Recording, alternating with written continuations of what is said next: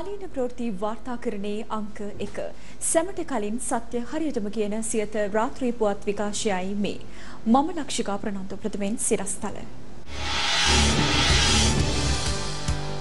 කොළඹ හුණුපිටිය ගංගාරාම විහාරස්ථානයේ නවම් මහා පෙරහැර මංගල්‍ය ඇරඹෙයි. මාස තුනක කාලයක් යනතුරු දෛනික විදුලි කප්පාදුවක් නැහැ. මහජන උපයෝගිතා කොමිසම කියයි.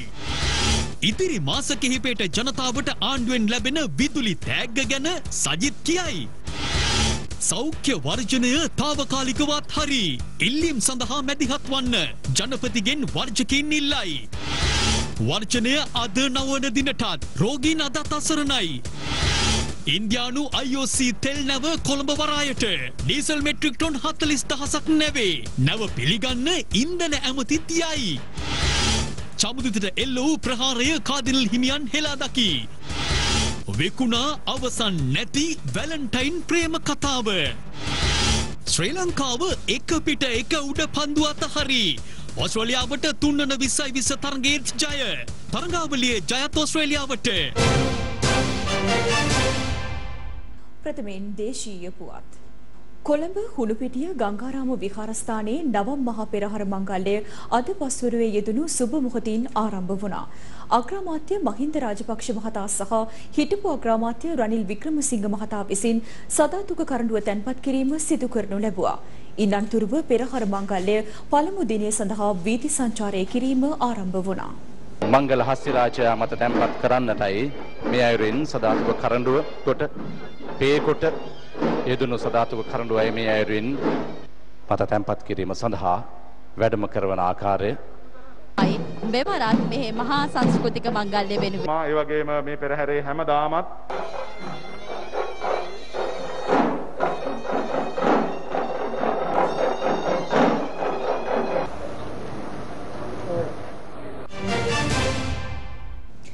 සෞඛ්‍ය වෘත්තීය සමිතිය සිය වැඩවර්ජනය తాවකාලිකව අත්හැරීමට තීරණය කර තිබෙනවා. ඒ හෙට උදෑසන 8 සිටයි. දින 14ක කාලයක් සඳහා වර්ජනය తాවකාලිකව අත්හිටුවන බවයි වෘත්තීය සමිතිය පවසන්නේ. දින 9ක් පුරා පැවති මේ වර්ජනයෙන් අදත් රෝගීන්පත් උනේ දැඩි අපහසුතාවයකටයි. දින නවයකට පසු අකණ්ඩ වැඩ වර්ජනය අත්හිටුවීමට සෞඛ්‍ය වෘත්තීය සමිතිය අද තීරණය කළා. ඒ අනුව හෙට උදෑසන අටේ සිට දිනදා හතරක කාලයක් දක්වා වර්ජන ක්‍රාමාර්ගය తాවකාලිකව අත්හිටුවන බවයි වෘත්තීය සමිති පවසන්නේ. සෞඛ්‍ය වෘත්තීයවේදීන්ගේ විද්වත් සභාව අද පෙරවරුවේ රැසූ අවස්ථාවේදී මෙම තීරණය ගනු ලැබුවේ. ලබන සඳුදා අමාත්‍ය මණ්ඩලයට කැබිනට් පත්‍රිකාවක් ඉදිරිපත් කරන්න සෞඛ්‍ය ඇමතිවරයා එකඟ වුණා. ඒ මූලික එකඟතාවය අනුව තමයි සහ අනිකුත් කාරණා අනුව තමයි මේ වැඩවර්ජනය తాවකාලිකව නතර කරන්න සංගම් තීරණය කරන්නේ. දැන් තියෙන්නේ ඇමතිවරයාගේ පරස්පරතාවයන් වෙනස් කරගන්න එක ඇමතිවරයාගේ වගකීමක්.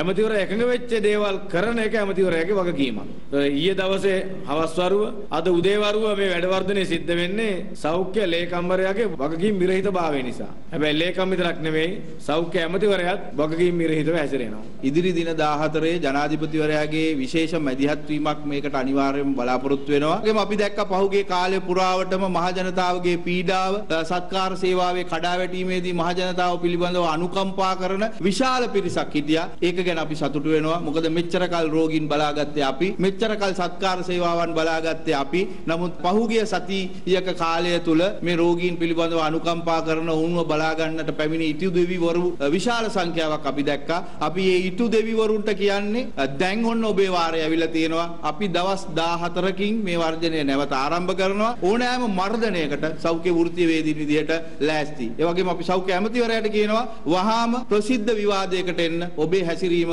අපි දැඩි පිළිකුලෙන් යුතුව හෙලා දකිනවා. කෙසේ වෙතත් අද දිනේදීත් පැවති වර්ජන ක්‍රියාමාර්ගය හේතුවෙන් අසරණ රෝගීන් පත් වූයේ දැඩි අපහසුතාවයකටයි. ඒවත් අහනම් කරන්න ඕන. මේ මිනිස්සු මැරුණාට පස්සේ ආපහු ඊළඟ මාසේ පණ ගන්නද? ඉතින් මේවත් අහනම් කර අන්න ඒ වගේ එඩිටර නායකත්වයක් ඕන සිංගප්පූරුවේ කර වගේ කරන්න ඕන මේක දිනු කරන්න ඕන. අද සිට ඉදිරි මාස දෙක සඳහා කිසිදු විදුලි කප්පාදුවක් සිදු කරන්නේ නැති බව මහජන උපයෝගීතා කොමිසමේ සභාපති ජනක රත්නායක මහතා පවසනවා.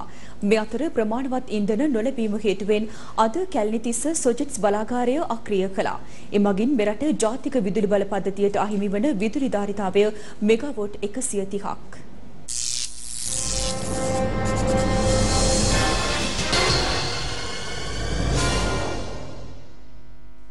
මණ්ඩලය මගින් අපෙන් කරපු ඉල්ලීම ගිවිසුමානේ පෙබරවාරි මාර්තු අප්‍රේල් කියන මාසවල දෛනික විදුලි කප්පාදුවක් යෑමේ අවශ්‍යතාවයක් ගැන සඳහන් කරලා තිබ්බා. අපි අද තීරණය කරලා තියෙනවා ඉදිරි මාස 3 දෛනික විදුලි කප්පාදුවකින් තොරව යෑමේ හැකියාවක් ඇති බව. ඒ සඳහා අපිට උපකල්පන කීපයක් තියෙනවා. එක උපකල්පනයක් තමයි අපිට අවශ්‍ය තෙල් ප්‍රමාණය නිරන්තරයෙන් ලැබිය යුතු බවත්, ඒ වගේම අපි තියෙන විදුලි ජනන යන්ත්‍ර අර නොරොච්චෝලේ කැඩුනා වගේ කැඩෙන්නේ නැති බවත්, ඊට අමතරව මේක විශේෂ කාර්යයක් තියෙනවා. ඒ කියන්නේ හෙට සිට අපි ජල විදුලියෙන් ජනනය කරන විදුලි බල ප්‍රමාණය 150කින් අඩු කරනවා. මේ ප්‍රමාණය හෙට සිට අපි 150කින් අඩු කරලා මිලියන් 5ක් 5ක් ගෙනල්ලා අපි බලාපොරොත්තු වෙන අපිට තියෙන සීමිත ජල ප්‍රමාණය මේ ඊළඟ මාස තුනේ පෙබරවාරි මාසයේ ඉදිරි කාලයත් මාර්තු මාසයත් අප්‍රේල් මාසෙත් අපිට වැසි ලැබෙන තෙක් මේ විදුලි නිපදන ජලය ආරක්ෂා කරගෙන අපිට විදුලි කප්පාදුවකින් තොරව ඉදිරි මාස තුන ගත කිරීමේ හැකියාව ඇති බව අපිට අපි දත්ත වලින් ඔප්පු වෙලා තියෙනවා. ඒ අනුව මම හරි සන්තෝෂයි කියන්නේ දීර්ඝකාලීන දෛනික විදුලි කප්පාදුවකට යෑමේ අවශ්‍යතාවයක් නැති වෙනවා අපිට. මහා පරිමාණ විදුලිය පාවිච්චි කරන ආයතන අනිවාර්යයෙන්ම දවසට පැය 4ක් Tamanගේ ස්ටෑන්ඩ් බයි ජෙනරේටර්ස් පාවිච්චි කරලා විදුලිය සපයා ගත යුතුයි. ඒ සඳහා අවශ්‍ය ඩිරෙක්ෂන් නියෝග අපි අද ලබා දුන්නා විදුලි බල මණ්ඩලයට. ඒ වගේම මහල් නිවාසවල ජීවත් වෙන නිවසියන් සවස 6ත් රාත්‍රී 10ත් කාලය තුලදී Tamande එයාර් කන්ඩිෂනර්ස් අවශ්‍ය නම් Tamanගේ පරිශ්‍රමයේ පරිශ්‍රයේ තියෙන ජෙනරේෂන් අනිවාර්යෙන් පාවිච්චි කළ යුතුයි. ඒ සඳහා අපි නියෝග නිකුත් කළා. ඒ වගේම රාජ්‍ය ආයතනවල විදුලි පරිභෝජනය කරන එක කන්සියුම් කරන එක අනිවාර්යයෙන්ම අඩු කළ යුතුයි. ඒ වගේම පළාත් පාලන ආයතනවලත් අපි Uh, ඩිරෙක්ෂන්ස් දුන්නා අද සිට පරිභෝජනය 80කින් අඩු කළ යුතුයි. මේ අනුව අපි බලාපොරොත්තු වෙනවා මේ කටයුත්ත විදුලි කප්පාදුකින් තොරව ඉදිරියට යෑමේ විශාල හැකියාවක් තියෙනවා. පුද්ගලික පාරිභෝගිකයන්, රජයේ ආයතන, ඒ වගේම uh, පුද්ගලික ව්‍යාපාර Tamanට හැකි පමණින් විදුලිය සංරක්ෂණය කරගෙන අපිට මේ අවශ්‍ය සහයෝගය අනිවාර්යෙන් ලබා දිය යුතුයි. ශ්‍රී ලංකාව බලාපොරොත්තුවෙන් සිටි ඉන්ධන නෞකාවක් අද කොළඹ වරායට සේන්දු වුණා. එම ඉන්ධන තොගේ ලබා දී ඇත්තේ ඉන්දියාවයි. අදාළ ඉන්ධන නෞකාව නිල වශයෙන් බාර ගැනීමට බලශක්ති අමාත්‍ය උදය ගම්මන් පිළ මහතා අද කොළඹ වරායට පැමිණ සිටියා. එහිදී අමාත්‍යවරයා පැවසුවේ මුදල් ලබා දෙන ඕනෑම කෙනෙකුට ඉන්ධන ලබා දීමට තමන් සූදානම් බවයි. ඉන්ධන සම්බන්ධ මාතෘකාව යළි කරලියට ගෙනීමෙන් ඉන්දියන් ඔයිල් සමාගම පසුගියදා ඉන්ධන මිල වැඩි කිරීමට පියවර ගත්තා. ඒත් සමගම khනිජ තෙල් නීතිගත සංස්ථාවද ඉන්ධන මිල වැඩි කිරීමට අදාළ ඉල්ලීම් ගණනාවක් අවස්ථා කිහිපයකදීම ඉදිරිපත් කර තිබෙනවා. කෙසේ වෙතත් ඒ සම්බන්ධයෙන් මෙතෙක් රජය පාර්ශවයෙන් කිසිදු තීරණයක් ගෙන නැහැ. එවන් පසුබිමක අද පෙරවරුවේ ඉන්දියාවෙන් ඩීසල් මෙට්‍රික් ටොන් 40 දහසක් රැගත් නෞකාවක් කොළඹ වරායට පැමිණියා. එම ඩීසල් නෞකාව බාර ගැනීමට පැමිණියේ බලශක්ති අමාත්‍ය උදය ගම්මන් පිළ මහතා සහ වරාය සහ නාවික කටයුතු පිළිබඳ අමාත්‍ය රෝහිත අබේගුණවර්ධන මහතායි. එම ඩීසල් තොගය අද දිනය තුළ කංජි තෙල් නීතිගත සංස්ථාවට බාර දීමට කටයුතු කරන බවයි අමාත්‍යවරයා මෙහිදී පැවසුවේ.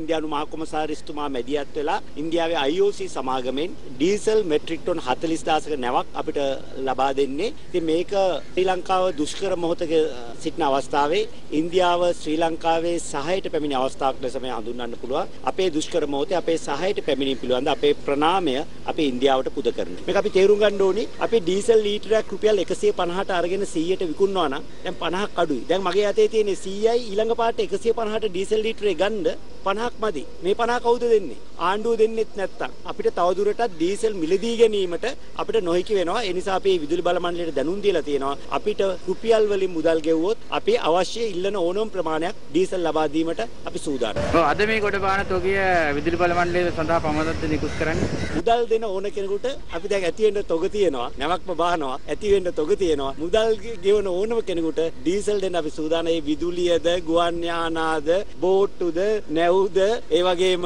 කාර්ද වෑන්ද කියන අපිට කිසි ප්‍රශ්නයක් නැහැ. සල්ලි ගෙවන්නේ කවුද? ඒ සෑම කෙනෙකුටම අකණ්ඩ ඉන්ධන සැපයීම අපි සාතික කරනවා. ඔව් ඒත් එක්කම සභාපතිතුමා ඊයේ ඔබතුමාගේ ඉල්ලීමක් කරා ඉන්ධන මිල වැඩි කරන්න කියලා. ඒක වෙයිද නැත්නම් ඒක තනියෙන් කරන්න බෑ. මෙතුමන්ගේ ඉල්ලීම් අපි මුදල් අමාත්‍යාංශයට ඉදිරිපත් කළා තියෙනවා. සාමාන්‍යයෙන් ඔබ දන්නවා මධ්‍යම රාත්‍රියේ සිද්ධ වෙන දෙයක්. තවමත් එවැනි තීන්දුවක් අරගෙන නැහැ. විශේෂයෙන්ම මම ඉල්ලීමක් කළා තියෙනවා. තෙල් මත තියෙන සීලුම් බදු ඉවත් කරලා ඒ සානේ තෙල් සංස්ථා ලබා දෙන්න. මේ මුණුත් අපිට මිල වැඩි කිරීමකින් තොරව මේ කාරණේ කරගන්න පුළුවන් වෙයි. We have just come today to the Indian oil tanker Swarna Pushpa, which has brought uh, 40,000 tons of fuel for Sri Lanka from India. I am very happy to be here with our good friend and Honorable Minister of Energy, who has come here today to receive the consignment formally. India, as you all know, is uh, committed to be with Sri Lanka and support Sri Lanka. My leadership, uh, the Indian leadership, is very clear in its commitment to strengthen our ties. And at this juncture, we are very happy to be with the people and the government of Sri Lanka in whatever we can do. සියයට විසිපහේ අධිභාර බද්ධ හරහා සේවක අර්ථ සාධකයටත් සේවා නියුක්තිකින්ගේ භාරකාර අරමුදලට සහ විශ්‍රාමික පාරිතෝෂිතයට අත තබන්නේ නැති බව මුදල් අමාත්‍ය බැසිල් රාජපක්ෂ මහතා පොරොන්දු වී තිබෙනවා. ඊයේ පැවති කැබිනට් අමාත්‍ය මණ්ඩල හමුවේදී ඔහු මේ සහතිකය ලබා දී ඇත්තේ.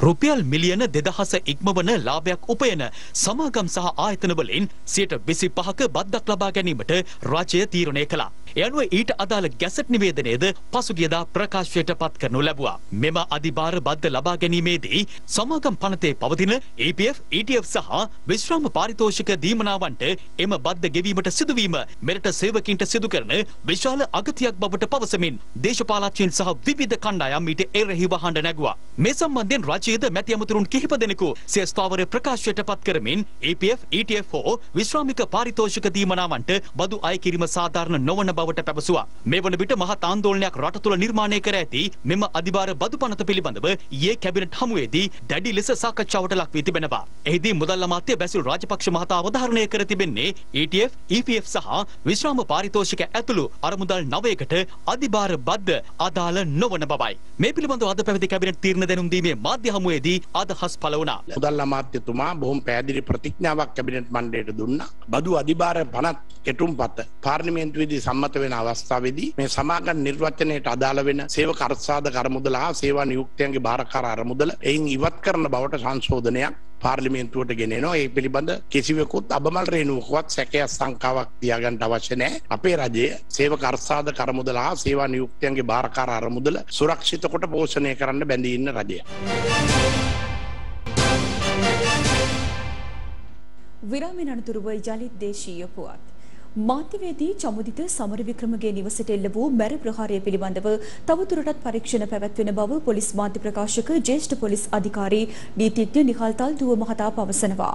මේ වන විටත් ප්‍රකාශ 21ක් සටහන් කරගෙන අවසන් බවයි ඔහු පවසන්නේ. මාධ්‍යවේදී චමුදිත සමරවික්‍රමගේ පිළියන්දල පිහිටි නිවසට අසූචි සහ ගල් ප්‍රහාරයක් එල්ල වූයේ ඊයේ අලුයමයි. එම ප්‍රහාරයෙන් ඔහුට හෝ ඔහුගේ පවුලේ කිසිවෙකුටත් හානියක් සිදු වූයේ නැහැ. මේ සඳහා පැමිණි කණ්ඩායම ආරක්ෂක නිලධාරියාගේ හිසට පිස්තෝලයක් පවා එල්ල කර තිබෙනවා. සිද්ධිය සැලවූ වහාම පොලිස් පරීක්ෂණ කණ්ඩායම් දෙකක් ඊට මැදිහත් වුණා. ඊට පොලිස් නිල සුනකයින්ද යොදා ගනු ලැබුවා. මේ වන විටත් පොලිස් පරීක්ෂණ ක්‍රියාත්මක බවයි පොලිස් මාධ්‍ය ප්‍රකාශකවරයා පැවසුවේ. පුද්ගලයන් විසියෙක් දෙනෙකුගෙන් පමණ දැනටමත් ප්‍රකාශ සටහන් කරගෙන තිබෙනවා. මේ අතර විවිධ පාර්ශව අදත් මේ ප්‍රහාරය හෙලා දුටුවා. මේ ප්‍රහාරකයා කවුද? අසූචි ප්‍රේමියා කවුද? කියලා කියන කාරණේට උත්තර අපි මේ මොහොතේ හොයන්න උත්සාහ ගන්නේ නැහැ. පොලිසිය පිළිබඳ විශාල පරීක්ෂණයක් ආරම්භ කළා. කඩනමින් වේගවත් යනවා. අපි ඉල්ලීමක් කරනවා. මේ කවුද කියලා කියන එක හෙළිදරව් කරන්න. රජයේ මැදිහත් වීමක් තිබුණත් නැතත් අනිවාර්යයෙන්ම මේ දේවල් රටේ සිද්ධ වෙනවා නම් ඒකට රජය වා කියන්න ඕන. මේ වැනි දෙයක් සිද්ධ වෙලා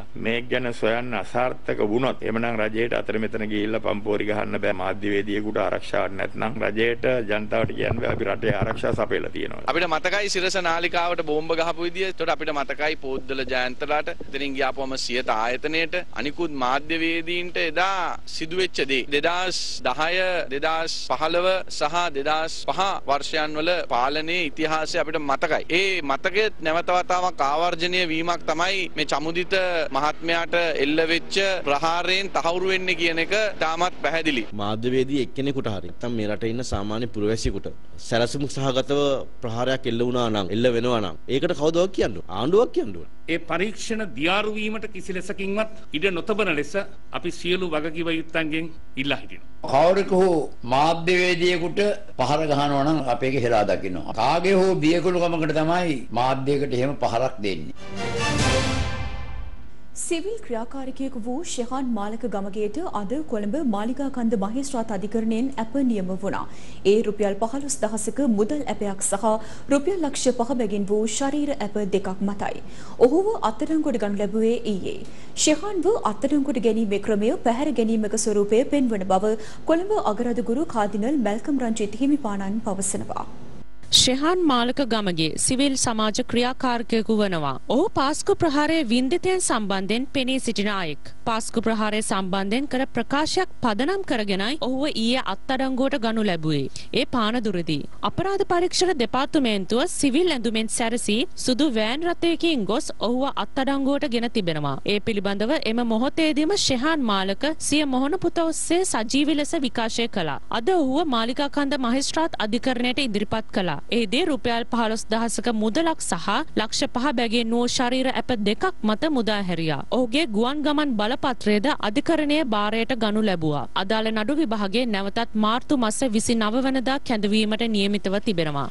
මම අදටත් හැමදාටමත් බය දෙවියන්ට විතරයි. ඊයේ සවස තුනට පමණ මහා මග මහපාර මැද සුදු වෑන් එකකින් ඇවිල්ලා නාඳුනන කණ්ඩායමක් සිවිල් පිට ඇවිල්ලා මාස් දාගෙන රැවුල් වවාගෙන එකපාරටම වෑන් එකෙන් බැහැලා මාවත් අඩංගුවට ගන්න උත්සාහ කරා. මේ අතර කොළඹ අගර අදගුරු කාදිනල් මැල්කම් රංජිත් හිමිපාණන් අද විශේෂ ප්‍රවෘත්ති සාකච්ඡාවක් පැවැත්වුවා. එහිදී උන්වහන්සේ මාලකව අත්අඩංගුවට ගැනීම සහ චමුදිත සමරවික්‍රමගේ නිවසට එල්ල වූ ප්‍රහාරය සම්බන්ධයෙන් අදහස් පළ කළා. පොලිසිය පුද්ගලයන් අත්අඩංගුවට ගන්න සීලාචාර ක්‍රමයක් තියෙනවා. පොලිස් නිල ඇඳුමෙන් ඇවිල්ලා පොලිස් ජීප් එකකින් ඇවිල්ලායි එහෙම කරන්නේ. ඒ වගේම චෝදනාව මොකක්ද කියලා අදාළ චූදිතයාට දැනුම් දෙනවා කියනවා. නමුත් මෙතන උනේ කිසිම පෙර දැනුම් දීමක් නැතිව පැහැර ගැනීමක් හැටියට තමයි මේ සිද්ධිය සිද්ධ වුනේ. ඒ නිසා මේක ප්‍රජාතන්ත්‍රවාදී සමාජයකට කොහෙත්ම නොගැලපෙන අශීලාචාර දාමරික ක්‍රියාවක් හැටියට මම අර්ථකථනය කරනවා. ජිනීවාහි පැවැත්වෙන සමුළුවට සහනයක් බලාපොරොත්තු වෙන කරුණු ඉදිරිපත් කරන ආණ්ඩුව මේ වෙලාවේදී මේ මිනිසුන්ට කරන වින්නැහිය ඔළුව තියෙන කෙනෙක් හැටියට කරනවද කියලා අපිට ප්‍රශ්නයක් මතුවෙනවා. මාධ්‍යවේදී චමුදිත සමරවික්‍රම මහත්මයාගේ නිවසට එල්ල කළ ප්‍රහාරයක් අපි දැඩි ලෙස හෙලා දකිනවා. එය සීලාචාරකමක් නැති ගඳ ගහන ක්‍රියාකලාපයක් ලෙස හඳුන්වන්නට පුළුවන්. විරාමින් අනතුරුව ඔබ නැවතත් සියත ප්‍රවෘත්ති සමගින් හිටපු ජනාධිපති මෛත්‍රීපාල සිරිසේන මහතා විසින් අභියාචනා පෙත්සමක් ඉදිරිපත් කර තිබෙනවා. ඒ සිවිල් අභියාචනා මහාධිකරණය හමුවේ.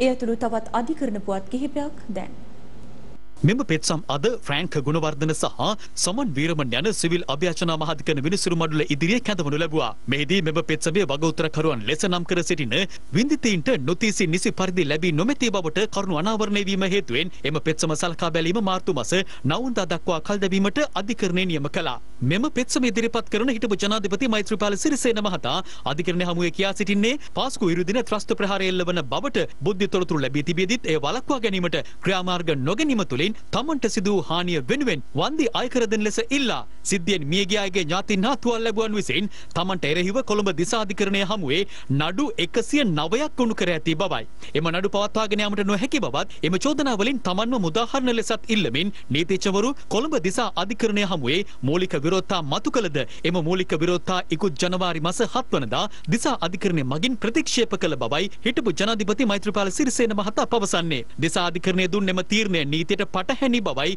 හිටපු ජනාධිපතිවරයා ප්‍රකාශ කරන්නේ. එබැවින් කොළඹ දිසාධිකරණය දුන් තීන්දුව ප්‍රතිශෝධනය කර තමන්ට අදාළ නඩුවලින් මුදාහරණ ලෙස ඉල්ලමින් හිටපු ජනාධිපතිවරයා විසින් මෙම අභියාචනා පෙත්සම සිවිල් අභියාචනා මහාධිකරණය හමුවේ මෙලෙස ගොනු කර තිබෙනවා. මේ අතර මෛත්‍රීපාල සිරිසේන මහතා ජනාධිපතිවරයා වශයෙන් කටයුතු කළ අවදියේ ඔහුගේ නිල නිවස වශයෙන් භාවිතා කළ කොළඹ පැජට් පාරේ පිහිටි නිවස විශ්‍රාම යාමෙන් අනතුරුවද ඔහු වෙත පැවරීමට අමාත්‍ය මණ්ඩලය විසින් ගනු ලැබූ තීරණය තුලින් මූලික අයිතිවාසිකම් උල්ලංඝනය වන බවට තීන්දුවක් ලබා දෙන ලෙසට ඉල්ලා ගොනු කෙරුණු පෙත්සමක් විභාගයට ගැනීමට ශ්‍රේෂ්ඨාධිකරණය අද අවසර ලබා දුන්නා. ඒ අනුව අදාළ පෙත්සම සම්බන්ධයෙන් කරුණු දක්වන ලෙසට දන්වා එහි වගඋත්තරකරුවන් වශයෙන් නම් කර සිටි හිටපු ජනාධිපති මෛත්‍රීපාල සිරිසේන මහතාට ඉකුත් රජයේ අමාත්‍ය මණ්ඩල සමාජිකයන් ඇතුළු සුළු පිරිසක් වෙත අධිකරණය විසින් නොතේසි නිකුත් කරනු ලැබුවා. ආචාර්ය පාකිසෝත්ති සරවණ මුත්තු විසින් ගොනු කළ මූලික අයිතිවාසිකම් පෙත් සමක් සලකා බැලීමෙන් අනතුරුව ප්‍රීතිපත්මන් සූරසේන යසන්ත කෝදාගොඩ සහ මහින්ද සමයවර්ධන යන මහත්වරුන්ගෙන් සමන්විත ශ්‍රේෂ්ඨාධිකරණ විනිසුරු මණ්ඩල විසින් මෙම නියෝගය ලබා දී තිබෙනවා. ආණ්ඩුව විදුලිය කැපීමේ තෑග්ග ජනතාවට ලබා දීමට සූදානම් වන බව විපක්ෂ නායක සජිත් ප්‍රේමදාස මහතා පවසනවා. සෞභාගී දැක්ම වෙනුවට අන්ධකාරයේ දැක්ම ආණ්ඩුව ක්‍රියාත්මක කරන බවයි විපක්ෂ නායකවරයා පෙන්වා දෙන්නේ. ඒ සමන්තුරේ ප්‍රදේශයේ පැවති වැඩසටහනකදී. ආණ්ඩුව දිනපතාම තමුන්නාන්සලාට තෑගි දෙන. දැන් අලුත්ම තෑග්ග තමයි ඊළඟ මාස තුනේ විදුලිය කැපීමක් සිදු වෙනවා. ඒක තමයි ජනතාවට දෙන අලුත්ම තෑග්ග. දැන් ඔබතුමන්ලට දුන්නා පෝර තෑග්ග, තෙල් පෝර තෑග්ග, වල්නාශක තෑග්ග, කෘමිනාශක තෑග්ග, පිපිරෙන ගෑස් තෑග්ග. ඒ වගේම අහස උසට බඩු මිල වැඩි කරලා ඒ තෑග්ගක් දීලා දැන් දෙන්න යන අලුත්ම තෑග්ග තමයි අඳුරේ තබන තෑග්ග. දැන් මේකට කියනවනේ මේ සෞභාග්‍ය දැක්ම කියලා. සෞභාග්‍ය දැක්ම නෙවෙයි. මේක තමයි ශ්‍රී ලංකාව අඳුරේ තැබීම. ඒ තෑග්ග තමයි මේ රජය ජනතාවට ලබා දෙන අලුත්ම තෑග්ග. ජනතාවගේ මූලික අයිතිවාසිකම් 24 පෑම 365 දවසෙම උල්ලංඝනය කරන ආණ්ඩුවක් තමයි අද තියෙන්නේ. හැබැයි බලයට ආවේ ජාතික ආරක්ෂාව රැක ගන්නවා, ජනතාව රැක ගන්නවා, ජනතාවගේ ජන ජීවිතය ශක්තිමත් කරනවා. මේ රටේ ඉතිහාසයේ හොඳම ආණ්ඩුව බිහි කරනවායි කියලා. අද රට ගෙන යන්නේ අපායක් කරා. ඒක තමයි මේ ආණ්ඩුව කරන්නේ.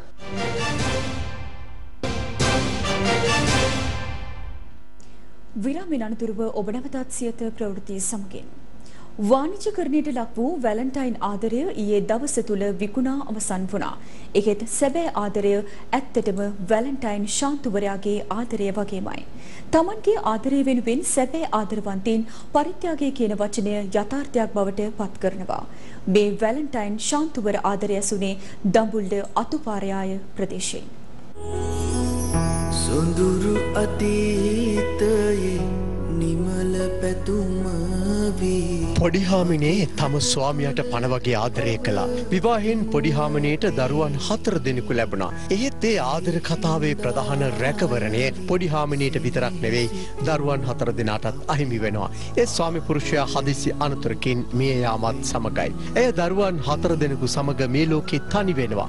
දරුවන් ලොකු මහත් කරන්න ඇය ජීවන බර කරට ගන්නවා.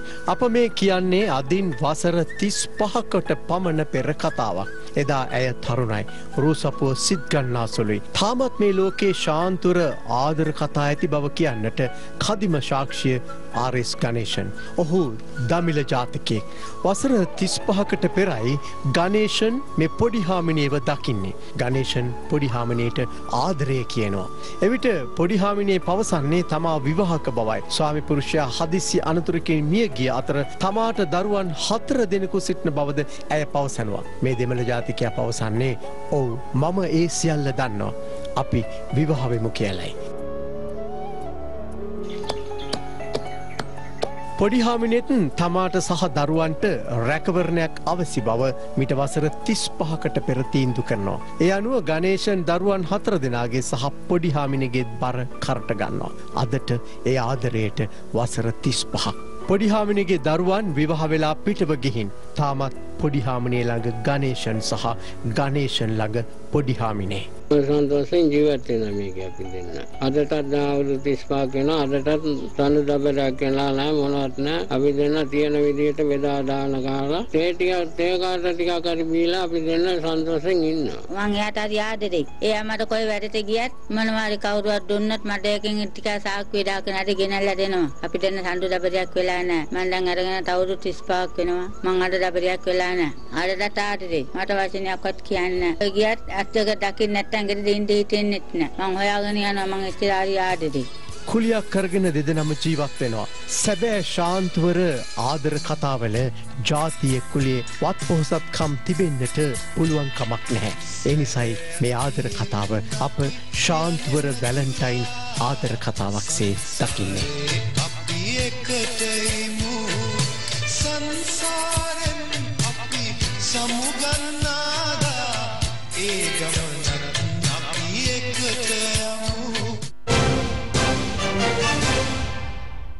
දැන් සියත පිටිය. සංචාරක ශ්‍රී ලංකාව සහ ඕස්ට්‍රේලියාව අතර අද පැවති තුන්වන විස්සයි විස්ස ක්‍රිකට් තරගය කඩලු හයකින් ජය ගැනීමට ඕස්ට්‍රේලියාව සමත් වුණා. ඒ අනුව තරග පහකින් සමන්විත විස්සයි විස තරගාවලියේ තරග තුනක් ජය ගනිමින් ඕස්ට්‍රේලියාව සමස්ත තරගාවලියේ ජය හිමි කරගත්තා. අද පැවැත්වෙන තීරණාත්මක තරගයේ කාසියවාසිය දිනාගනිමින් ඔස්ට්‍රේලියානු නායකයා ප්‍රථමෙන් පන්දුට පහර දීමේ අවස්ථාව ශ්‍රී ලංකාවට ලබා දුන්නා. අද තරගයේ ආරම්භක පිතිකරුවන් ලෙස පිටියට පිවිසියේ පැතුම් නිශ්ශංක සහ ධනුෂ්ක ගුණතිලකයි. පසුගිය තරග දෙකේදී අසාර්ථක වූ ධනුෂ්ක ගුණතිලක ශ්‍රී ලංකා කණ්ඩායමේ පළමු කඩුළු ලෙස ලකුණු 9ක් ලබා සිටියේදී දැවී ගියා. පැතුම් නිශ්ශංක ලකුණු 16යි. ශ්‍රී ලංකා කණ්ඩායමේ ශක්තිමත් මැදපෙළ පිතිකරුවෙකු වන චරිත් අසලංකටද පසුගිය තරග දෙකේදී මෙන් අද තරගයේදීත් සාර්ථක වීමට හැකියාවක් ලැබුණේ නැහැ. අසලංක ලබාගත්තේ ලකුණු හයක් පමණයි. කොවිඩ් ආසාදනය වීම හේතුවෙන් පසුගිය තරඟ දෙකටම සහභාගී නොවූ කුසල් මෙන්ඩිස් අද තරඟයට ක්‍රීඩා කළ අතර ඔහුට ලබා ගැනීමට හැකි වුණේ ලකුණු හතරක් පමණයි. ඉන් අනතුරුව පිටියේ ශක්තිමත් වූ දිනේෂ් චන්දිමාල් සහ නායක දසුන් ශානක ශ්‍රී ලංකා කණ්ඩායමට තරමක සවියක් ගෙන දුන්නා. චන්දිමාල් ලකුණු 25ක් ලබා සිටිදී දැවී ගිය අතර ශ්‍රී ලංකා කණ්ඩායම වෙනුවෙන් වැඩිම ලකුණුලාභියා බවට පත් වූ දසුන් ශානක නොදවී ලකුණු 39ක් පන්දු 38ක් තුල රැස් කිරීමට සමත් වුණා. ඒ අනුව නියමිත පන්දු අර 20 තුල ශ්‍රී ලංකා කණ්ඩායම කඩුළු 6ක් දැවී ලබා ගත්තේ ලකුණු 121ක් පමණයි. පන්දු යැවීමේදී කේන් රිචඩ්සන් කඩුළු 3ක් විඳහෙලීමට සමත් වුණා.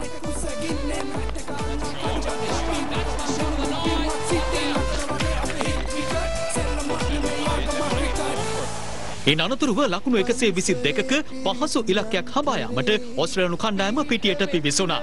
කෙසේ වෙතත් ඔස්ට්‍රේලනු කණ්ඩායමට ප්‍රබල තර්ජනයක් එල්ල කරමින් පළමු පන්දුවාරේ පළමු පන්දුවේදීම කඩුල්ලක් දවා ගැනීමට මහිස් තීක්ෂණ සමත් වුණා. කෙසේ වෙතත් ඉන් අනතුරුව ශ්‍රී ලංකා ක්‍රීඩකීන්ට ඔස්ට්‍රේලනු ක්‍රීඩකීන් දවා ගැනීමට තිබූ අවස්ථා රැසක් ගිලිහි යන්නේ උඩ පන්දු හතරක් එක පිට එක අතහැරීමත් සමගයි. එම වාසිය තමන් සතු කරගත් ග්ලෙන් මැක්ස්වෙල් ලකුණු 39ක් රැස් කරමින් ශ්‍රී ලංකාවට ප්‍රබල තර්ජනයක් ගෙන දුන්නා. යළි ක්‍රියාත්මක වූ මහිස් තීක්ෂණ මැක්ස්වෙල්ගේ කඩුලද බිඳ හෙළුවා. කෙසේ වෙතත් උඩපන්දු දිගින් දිගටම අත්හැරීම හමුවේ එහි වාසිය ලබාගත් ඔස්ට්‍රේලියානුවන් ක්‍රමයෙන් ජයග්‍රහී ඉලක්කය වෙත ලං වුණා. අරුන් ෆින්ච් ලකුණු 35ක් රැස් කළ අතර ජෝස් ඉංග්ලිස් සහ මාකස් ටොනික්ස් පිළිවෙලින් ලකුණු 21ක් සහ 12ක් රැස් කළා. තරගයේ 16 වන පන්දුවාරයේ පස්වන පන්දුවට හතරේ පහරක් එල්ල කරමින් ලකුණු 124ක් රැස් කරගනිමින් තුන්වන 20යි 20 තරගයේ ජයග්‍රහණය ඔස්ට්‍රේලියාව තමන් සතු කරගත්තා. ඒ අනුව කඩලු 6කින් ඔස්ට්‍රේලියාව මෙම තරගයේ ජයග්‍රහණය ලබා ගත්තේ තරඟ පහකින් සමන්විත පන්දුවර 20 තරඟාවලියේ ජයග්‍රහණයද තමන් සතු කර ගනිමින්. සියත එක්ක ක්‍රිකට් දිනවමු. රාත්‍රී පුවත් විකාශය අවසන්. ඔබට නිරෝගී බව සහ ආරක්ෂාව.